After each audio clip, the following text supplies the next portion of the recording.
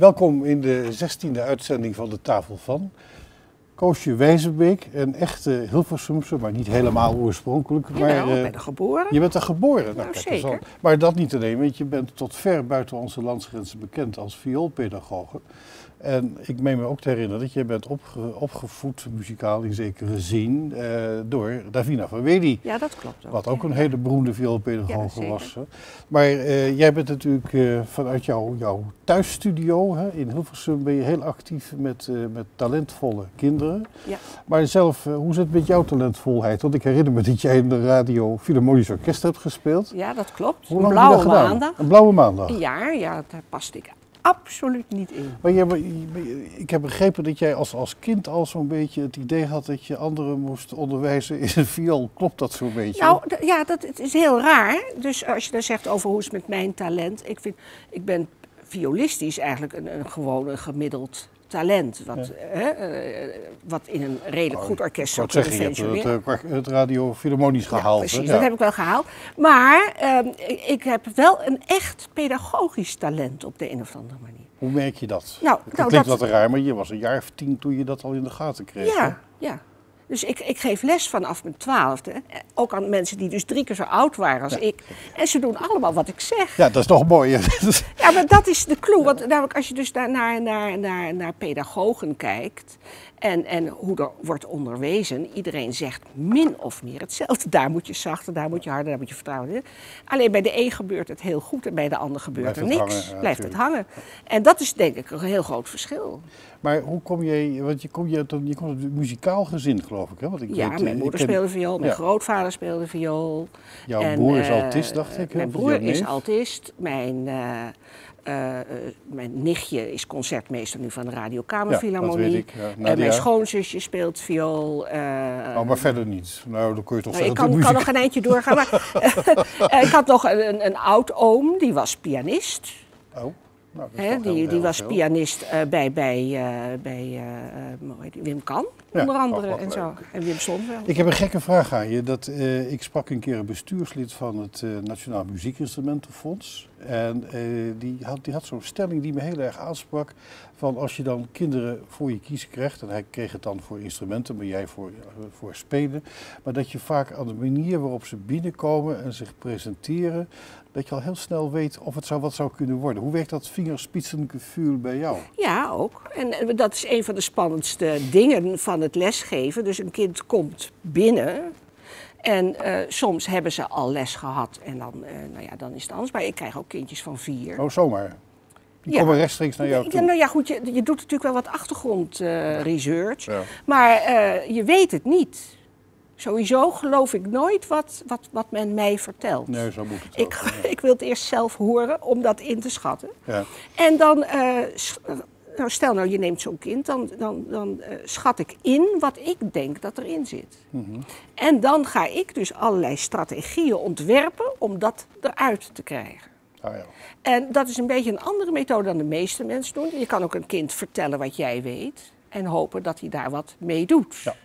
Maar ik bepaal eigenlijk toch wel heel erg het tempo en de koers. Ja. Ja. Maar wat gebeurt er bij jou, voor zover ik weet, iedere zaterdag in jouw studio? Je krijgt een groep kinderen, of hoe gaat dat? Ja, dat, dat is dus ge- dat is, eh, eh, ja, een beetje per ongeluk ontstaan. Ja. Eh, op een gegeven moment, ik, had, ik heb altijd vrij goede leerlingen gehad met, met behoorlijk veel talent. Mag je wel zeggen, ja. En dus op een gegeven moment deed ik een uitwisseling met Hongarije. Ja. Er was een pianiste eh, uit- in Hongarije en die wou dus in Nederland met wat kindjes komen. En dat hebben we ook gedaan. We hebben toen een gezamenlijk concert gegeven in het Singer, concertzaal in Laarden. Dan praat ik over de jaren tachtig, denk ik zo. Ja, dat, ja, ja, zoiets. En toen werden wij teruggevraagd, want het was natuurlijk een uitwisseling. Wat leuk. En eh, toen moest ik dus bedenken met welke kinderen ik dus naar Hongarije zou gaan. En Oh. dat, dan praat je over drie, vier kinderen die dus dan mee konden. Je mocht een half concert vullen. Ja, ja. Dus toen dacht ik, nou, als ik ze nou eens bij elkaar zet, dan kunnen er veel meer mee. Dat heb ik gedaan en toen bleek dat dus min of meer toch een succesformule. Dat waren de fancy fiddlers. Ja, dat zo in- zijn de fancy films ontstaan.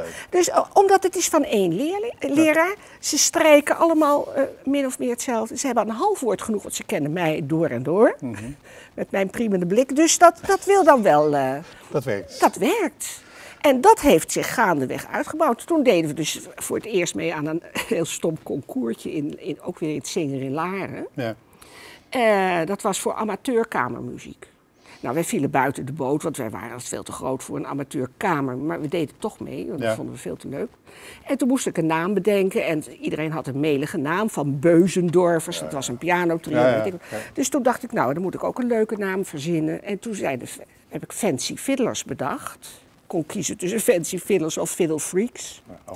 Het is Fancy Fiddlers geworden. En weet je, en dan kom je er niet meer van af. Nee, dat, eh, dat kleeft je ook heel erg Dan aan. kom je er niet meer dat ik ook benieuwd was naar jouzelf eigenlijk. Want ja, die, die fancy fiddlers, dat heb je tot zo'n zo'n merk gemaakt Ja. haast. Dat die kinderen die daarbij zitten, die zijn automatisch al zo'n beetje tot heerlijkheid verheven. hè. Ja, dat, eh, maar wat, wat, wat nou het leuke was, dat juist precies op dat allereerste concoursje, dat was bijna nog voordat wij dus naar Hongarije gingen, Ja. een soort try-out, krijg ik dus het mooiste compliment ooit.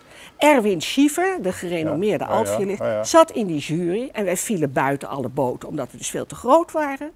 Die kwam naar me toe en die zei, ze kunnen strijken en ze zijn gelukkig. Ach, wat leuk. En dat vergeet ik mijn leven niet. Dat, dat, is, dat is ook eigenlijk de essentie van de Fancy Village. Ik heb toch nog een andere vraag aan je. Want er is, eh, uiteraard is eh, fancy fiddlers concurrentievrij. Maar jouw oud-collega Jouke van der Leest is daverend enthousiast bezig met het Kuipersensemble. Ja, ja. Eh, Is daar nog een soort uitwisseling of krijg jij het, je krijgt het hele land geloof ik hè? Ik krijg ze, nou, de- de Fancy Village is exclusief voor mijn leerlingen. Ja, ja. Dus dat zijn allemaal, hebben ze vioolles bij mij, behalve de cello's. Ja, die, die hebben les bij Monique bij, Bartels, bij hè? Monique Ja. Bartels. Ja. Eh, ze krijgen af en toe een altviool in hun vingers geduwd. Oh. Met een stuk, ik zeg dat is de eerste noot en zoek de rest maar uit. Dus ze kunnen en viool en altviool spelen op een gegeven moment. En, eh, dat is, en ze spelen zonder dirigent en alles Ja, uit het het. hoofd. En dat is dus heel wat anders dan een strijkorkest. Want het orkest van Jouke is heel goed, vind ik hoor. Ja, goed, dat zijn Ja. eh, ontzettend leuke initiatieven die er zo lopen. Ben jij van plan die tot, eh, tot lengte van eeuwen vol te houden? Nou, Want het kijk. lijkt me best hard intensief werk. Het Met al die kinderen met hun privé dingen die op jou neerstaan. Want hoe gaat het met jouw telefoon? Word je niet suf gebeld voor allerlei... Nou, ik heb ze goed afgericht. Ja, ja kijk, dat is de enige manier. Dat is de enige manier. En ik heb natuurlijk wel wat, wat, wat hulp. Hè. Dus ik, ik heb een soort, ja, zeg maar, een, een privé-instituutje zou je het eh, Ja, ja. oneerbiedig kunnen noemen. Dus eh, ze, hebben, ze hebben theorie, hè, en ze hebben koorrepetitie. En dat- dat En, ik heb zo vast een aantal vaste mensen. Dus Monique Bartels voor de cello's, twee pianisten. En, en, en eh, de ene pianiste die doet ook de theorie. Ja. En die doet ook, dan maak ik een programma voor de zaterdag, zodat je die optimaal kan benutten. Hoeveel kinderen stappen er nou binnen bij jou? Nou, zo'n 25 gemiddeld. En die, want ik heb een keer een jongetje letterlijk gesproken uit Midden-Limburg of zo. En die zei dat hij de eerste trein op zaterdagmorgen had richting Hilversum. Ja, klopt. en dan nog helemaal naar jouw woonadres Uit. Vlissingen, uit Groningen, ze komen overal vandaan. Fantastisch. En we gaan eens wat kijken. We hebben wat filmfragmenten van de Fancy leuk. Hartstikke goed dat je hier was. En eh, het had al veel eerder moeten gebeuren. Hilversum is trots op jou en ik, ik doe daar graag aan mee. Dank je, vond het erg leuk. Nou, mooi zo. Bedankt. Goed, dat, eh, dat was Koosje Wijzenbeek. En nou, nou kunnen we even vertellen dat wij een paar dagen geleden zijn wij naar het muziekcentrum van de Omroep geweest. Want daar is een heel groot feest daar aangeboden ge- ter gelegenheid van haar 65e verjaardag. Maar waar een kuur aan muzikanten en muzikantjes de hele avond hebben gespeeld. En de camera liep er rond en we gaan nu kijken wat er allemaal gebeurde.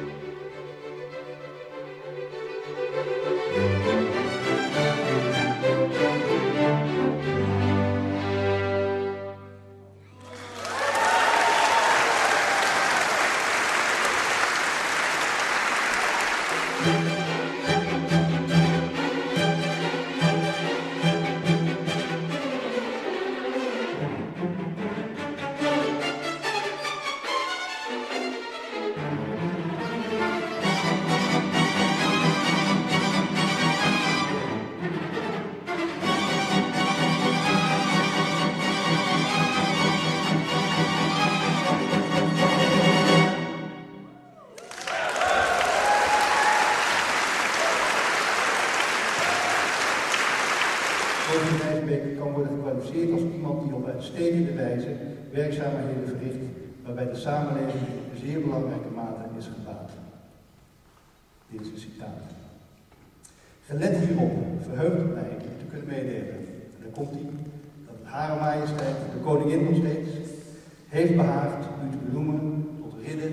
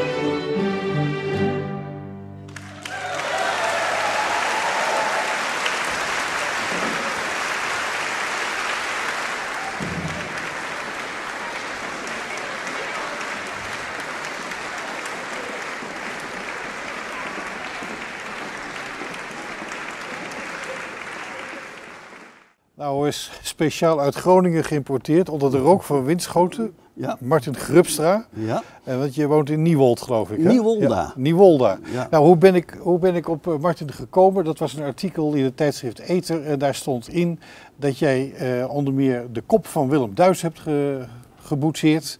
En dat je aan het kijken bent waar dat nou in Hilversum zijn plaats zou kunnen vinden. Tenminste, dat is een ontzettend leuke gedachte. Ik heb van jou begrepen dat je hebt ook de chronische Jacques Brel heb je ook eh, als kop neergezet. Ede hè? Eh, ja. Ede Staal. Ja. Hè, Mien Toentje, Mien Toentje. Ja, precies. Nou, iedereen die in Groningen heeft gestudeerd, die kan dat zo meezingen. Maar je hebt zelfs Sikko Mansholt hè, van Ja. de Graanrepubliek Ja. gedaan. Ja.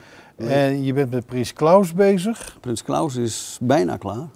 Dus ik moet zeggen dat eh, de hal van je atelier aardig vol staat met beroemde koppen. Hè, om jezelf... Nou, eh, zo, zo, zo langzamerhand wel, ja. ja, ja, toch wel. Ik moest vreselijk lachen toen je me net vertelde bij een kopje koffie dat zelfs de, de Rodies, hè, de, de popgroep uit de oude Pekela, eh, ik denk dan ga je terug tot de jaren 60, want mijn, mijn grote Ja, ja, broer ja, had daar singeltjes van. Ja, ja, klopt. En daar heb je ook een ensemble van Daar gemaakt heb ik, van vier, koppen. heb ik vier koppen van gemaakt. Die staan eh, voor het gemeentehuis van Oude Pekela. Nou, dat moeten we allemaal een keer bekijken als we op vakantie gaan. Maar het gaat natuurlijk nu over een, eh, ja, een Bussumse en eh, uiteraard een zeer Gooise grootheid, eh, Willem Duis. eh, geboren, ik dacht in 1928 en een jaar of vier geleden eh, overleden en in Blaricum begraven, als ik het goed zeg. Ik heb het ergens opgeschreven. In 2011, nee het is maar, nog maar twee jaar. Ja, ja. Ehm, ja, dat, eh, hij is natuurlijk een man die, die voor een generatie gewoon eh, letterlijk jarenlang beeldbepalend is geweest. Hè? Maar ook natuurlijk voor de radio. Hoe ben jij op hem gekomen? Gewoon- Nou, ik zag hem dus, eh, de laatste keer dat ik hem gezien heb was bij De Wereld Draait Door. En toen was hij nog een schaduw van zichzelf. ja, kon en niet dat vond, praten. vond, Nee. vond, vond ik het eigenlijk zo zielig. Ik denk, eigenlijk verdient die man een standbeeld. Ja. Die heeft zoveel voor de Nederlandse omroep betekend. En voor de platenwereld. En voor de platenwereld niet te ja. vergeten. En hij was zo eigenzinnig. Ja. En eh, toen dacht ik, ik denk, weet je wat? Ik denk, ik maak hem. En eh, gewoon omdat ik het leuk vond. Ja, ja. En toen heb ik contact gehad eh, met zijn familie. ja.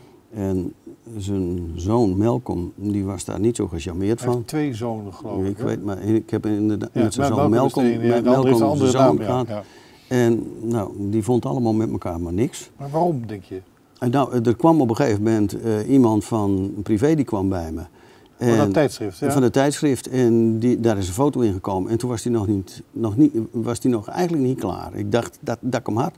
Maar, en dat heeft dus in privé gestaan, die foto. En ze vonden het niet leuk en ze vonden het niks. Na die tijd heb ik hem nog twee keer gesloopt. En ik heb hem nog weer, of, of ik heb hem weer, ja, ik heb hem twee keer gesloopt en opnieuw opgebouwd. Dit is de kop. Willem is de kop, de meest moeilijke kop geweest die ik gemaakt heb.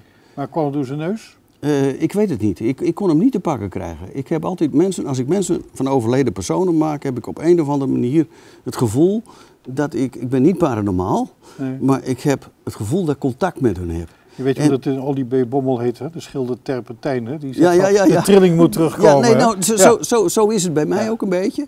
En, eh, maar ik kon, het was net dat Willem daarboven zei. "J- Jij mag me wel maken, je beste jongen. maar, maar, maar zo makkelijk ben ik niet. En, eh, maar uiteindelijk, toen, eh, ik ben er een jaar mee bezig geweest. eh, niet constant natuurlijk, maar ik ben er een jaar mee bezig. Ik heb een jaar over gedaan om hem zo ver te krijgen zoals hij dus nu is. Ja. En dan zeg ik, ik ben er nu tevreden over. En iedereen die herkent hem ook als Ja, buiten. Het is, Buiten het- ja. Hij heeft wel meerdere gezichten. Hè? In die zin, goed, met het ouder worden kan je gezicht ook wel veranderen. Maar als je oude filmbeelden van hem ziet, waar de, het Instituut voor Beeld en Geluid barstte natuurlijk van oude Ja. filmopnamen van hem.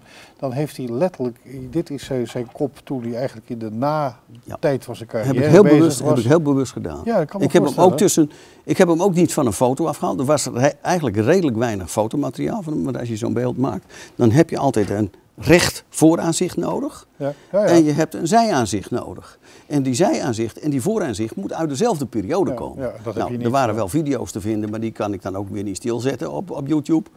En, eh, en ook niet projecteren. Dus ik heb hem, op mijn gevoel heb ik hem ergens tussen een aantal beelden ingemaakt. En dat heb ik met Sikkel Mansholt gedaan, heb ik met veel meer gedaan. Ja. Zo krijg je toch je eigen draai eraan. En dat Ja, heb je ja. heb met Klaus ook. Dus ik, heb hem, ik maak er toch mijn eigen, mijn, eigen, mijn eigen beeld van. Maar als je zegt je hebt hem afgebroken, dat wil zeggen dat je dan bepaalde, eh, want dit is natuurlijk in, in, in klei gedaan neem ik aan, Ja. maar dan, dan, dan snij je delen weg die je... Ik heb hem, ik heb hem één keer, heb ik hem dus eh, met een draadje, heb ik hem dus de hele schedel heb ik hem doorgesneden. Zo. Hij moest Dan het heb ik eens hem echt in twee Ja, helften. ja. En toen heb ik er eh, twee centimeter tussen gebouwd. Nou, dat was veel te veel. Ja, En uiteindelijk is er een halve centimeter tussen gekomen. En maar toen- dat zijn die, die waren. eh, Ja, nee, maar, maar het is een geheel dus. Dat, dat, dat, dat geheel dus is, een- is een geheel dus een halve centimeter hem opgebouwd. Want ik, ik had die, op, de eerste die ik maakte was Kees Brussen. ja, maar Dat was precies Kees Brussen. Maar nou is de vraag, kijk, eh, je bent uit uh, Nieuwolda hier naartoe gereden met de kop van Duis. En eigenlijk zouden we hem nu verbeurd moeten verklaren natuurlijk, om te kijken. eh, hij moet hier natuurlijk ergens een plaats hebben. Hè? En je hebt een brief gestuurd naar het Instituut voor Beeld en Geluid.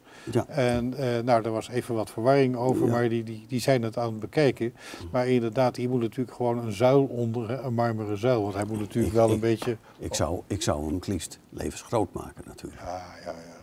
Ja. Nou, Ik kan me voorstellen, maar er moet natuurlijk een partij zijn. Want dan zou je er een, een, een bronzen afgietsel van maken. Of- kijk, wat, wat hier dus mee moet gebeuren, hij is dus nog steeds is die in klei. Als ik hem nat Ja. maak, dan is hij weer vervormbaar. Ja. Maar wat ik, doe, ik, ik bak ze tegenwoordig ook niet meer. Want ik heb twee keer gehad dat, dat ik een kop in de oven zette en dat hij er in honderd stukjes weer uitkwam. Oh, je bakt En ze dat, bruin? Dat, Ja. die- dat, dat, die, dat die kapot ge- geknald was in de oven. En dus ik laat hier dus nu eh, van siliconenrubber een mal van maken. Dat doe ik zelf ook niet, dat kost geld. Ja. En eh, als ik die siliconenrubbermal heb, dan kan ik dus of van aluminiumcement of van, eh, van was Ja. een, eh, een afgietsel maken. Ja. En ook meerdere afgietsels maken. ja, ja. En als ik hem van was heb, dan, kan, dan wordt het ingevormd in gips. Dat wordt weer uitgestookt. Een hele procedure. En dan gaat daar dus brons in. En dan heb je hem, Dan uiteindelijk te heb je hem in brons. En dan kan hij in brons gemaakt worden. En zo heb ik Mansholt ook gemaakt. Ik heb Sikko nee. Mansholt eerst in, in, zijn kop heb ik laten gieten in brons.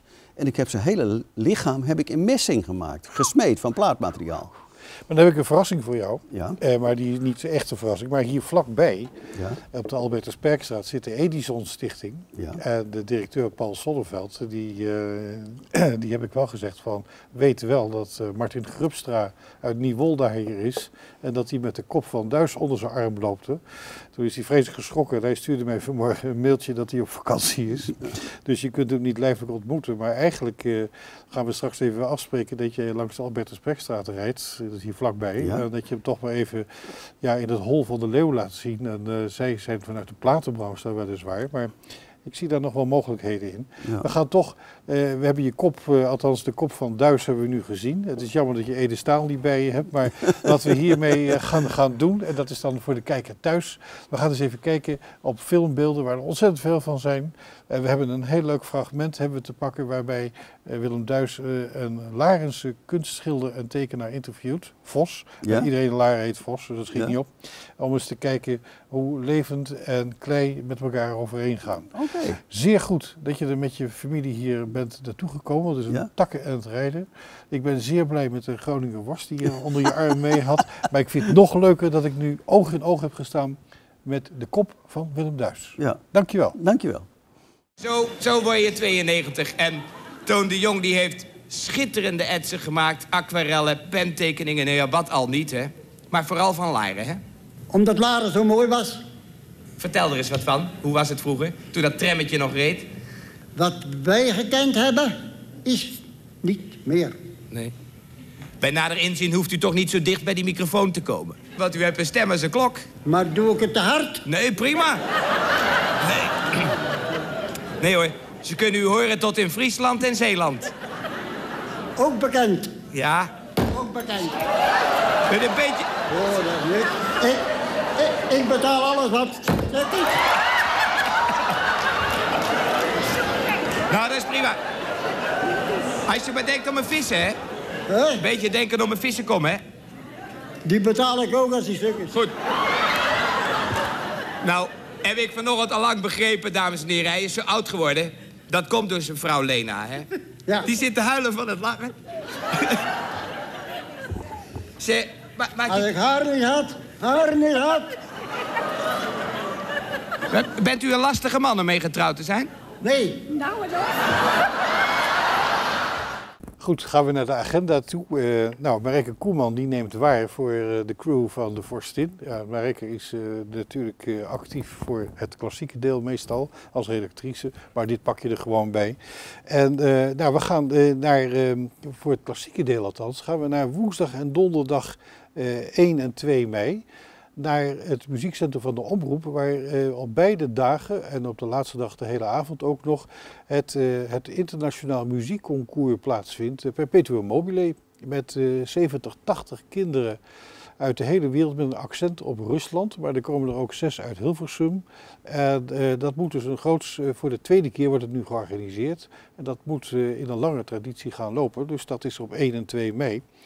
Dan kun je op zaterdag 4 mei, na de dodenherdenking in het Rosarium, heeft het Toonkunstkoor Hilversum traditioneel in de Lutherse kerk, iets verderop op de Bergweg, hebben ze een herdenkingsconcert waarbij ze kiezen uit liederen die in de sfeer passen van, het, eh, van de dodenherdenking op 4 mei.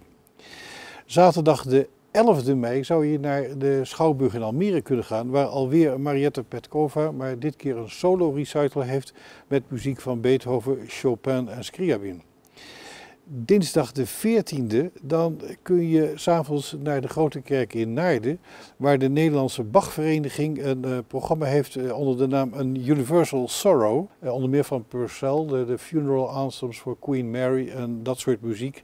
En daar komt John Tavener ook bij, bijna een oude cultcomponist, en ook nog van Bach. En eh, wat dan zeker niet vergeten mag worden, dat is het weekend van Pinksteren. Dan heb je dat fantastische jachthuis in Nederhorstenberg. Die hebben al jarenlang rond Pinksteren een, een, thema, weekend zeg maar. En dat staat nu in de sfeer van Benjamin Britten. Nou, die heeft heel veel muziek voor de meest uiteenlopende bezettingen geschreven. En ik zal in de stijgers om naar die bijzondere serenade voor tenor en hoorn te gaan. En dan gaan we nu naar de vorstin, in de, in de persoon van Marijke Koeman. Ja, op Koninginnedag uh, presenteren De Vorstin en Luno Kitchen samen een geweldig gebeuren op de Kerkbrink. Dat is uh, uh, een live uitzending van de inhuldiging en verder veel muziek, soul, indie, muziek uit de jaren 70, muziek uit de jaren 80 vanaf half twee op de Kerkbrink. De Vorstin heeft ervoor gezorgd dat er optredens zijn van onder andere Relan en de Bombardiers. Hele uh, spetterende muziek is mij uh, beloofd, een negenmans band. Zo. En dan is er ook June Noah. En die combineert soul met een vleugje pop en funk. En uh, ze is bijna haar hele leven bezig met muziek en haalt inspiratie uit grootheden als Tina Turner, Solomon Burke en Joss Stone. Mooie kan je niet hebben. Nou, dan zijn we er geloof ik. Hè? Nou, laten we het hierbij. Dit was de, de zestiende uitzending alweer van de Tafel van. Die wordt vandaag ieder uur herhaald op de, op de buis. En uh, wie het nog een keer wil nakijken, kan er vanaf maandag terecht op www.rtihilversum.nl of op YouTube. Mensen, tot over twee weken. Tot ziens.